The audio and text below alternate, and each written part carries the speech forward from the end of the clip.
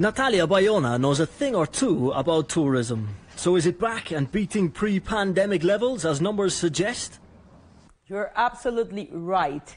Our projections uh, say that maybe we will grow two or three points more uh, if we compare 2019 and nowadays. Tourism is responsible for 8% of the world's carbon. What is the United Nations doing to try and, you know, bring that industry to a more, make it greener? Here in UN Tourism, we have uh, a strong focus on green investments to have um, hotels with renewable energies, um, using the community art to create all the designs inside uh, any infrastructure, to create smart airports with new technologies that can, of course, reduce the emissions and that can be more responsible at the end of the day. How would you describe your, your relationship with China? Uh, I love China.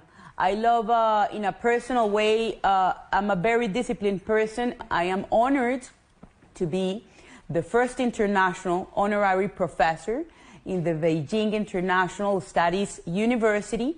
So, I love tea. I'm a tea lover. I'm Colombian, but I have to say that I love tea more than coffee. So, that's uh, one of my passions. What, which one's your favorite tea? Mine is oolong.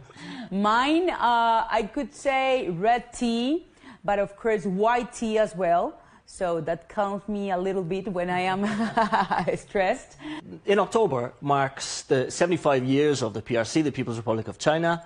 From a tourism point of view, I mean, it's an incredible transformation that we've seen uh, over that period of time. How would you put that into context from the perspective of tourism?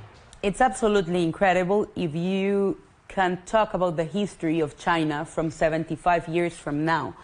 Uh, I have to say that when you go there, you always see something new. It's incredible, but it's a country that is always innovating. You have seen that mixture between modernity and, of course, tradition.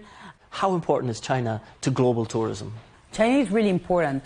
First of all, I, I already mentioned top investor in the world when it comes to infrastructure, hotel infrastructure, and business development. Second of all, when it comes to tourists, they are the ones that spend the most. So 196 billion expenditure uh, only from tourists Chi from China all around the globe. So it helps us as well to promote and to increase GDP among all the countries.